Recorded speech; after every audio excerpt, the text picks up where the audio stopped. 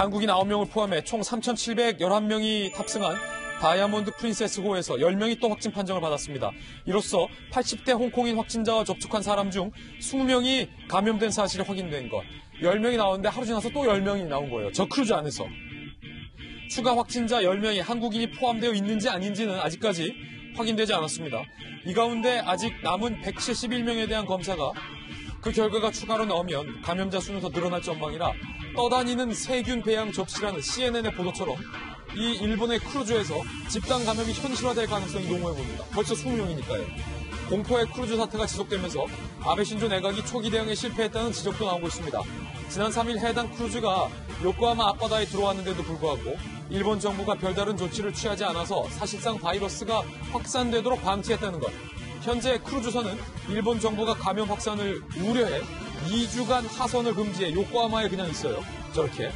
물자 부족으로 음료수, 술, 간식 서비스 모두 중단됐고 식수는 매일 한 사람당 500ml 물 한 병씩만 제공돼 탑승자들은 창살 없는 감옥이라는 아우성이 나오고 있는 상황입니다. 이게 사실은 되게 공포스러운 거예요. 한국인 9명도 지금 저 안에 탑승을 했기 때문에 더 우려스러운 상황인데 최청호 박사님 저 안에서 사실은 크루즈라고 하면 굉장히 호화스럽고 그렇기 때문에 우리가 비싼 돈을 주고 가서 바다를 항해하면서 그 안에 사실은 떠다니는 호텔, 호텔 그 이상이죠, 사실은. 아니, 이렇게 감옥이 될 줄 누가 알았겠습니까? 제가 저 크루즈를 타본 적이 있는데요. 그래요? 예.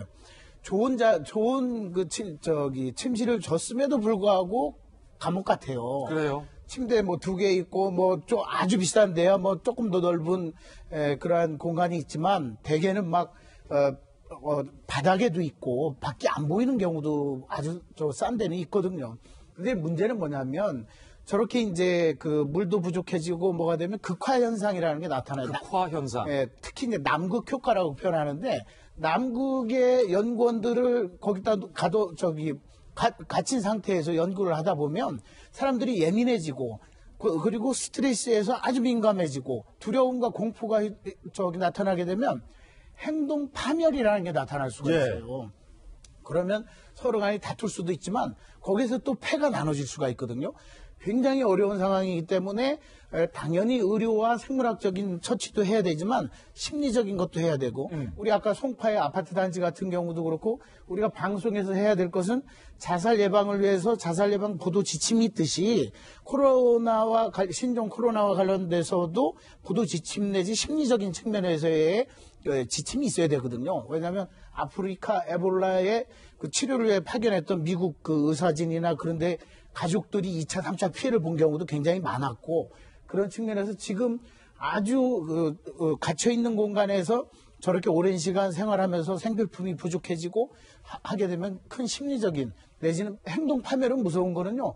쥐를 가지고 실험을 해보면 좁은 공간에 너무 오래 있다 보면 쥐가 쥐를 죽이고 잡아먹어요. 예. 근데 이 사람은 그렇게까지는 안 나타나겠지만 여하튼 배려를 해야 되고 care를 해줘야 됩니다. 예. 아, 저 크루즈 관련된 걱정이 좀 드는 대목이